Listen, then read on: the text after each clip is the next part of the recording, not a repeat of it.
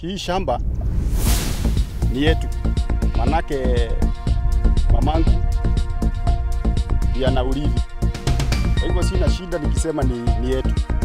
Sasa tuko na huzuni kubwa kutoka mwaka 2017 tulikuja kulima hii shamba, tukaanza ku mambo ya kujiandaa kutengeneza shamba ikiwa yetu, lakini kila siku tukikuja, kuna jamaa wanakuja wanakuja na buduki wanatufukuza.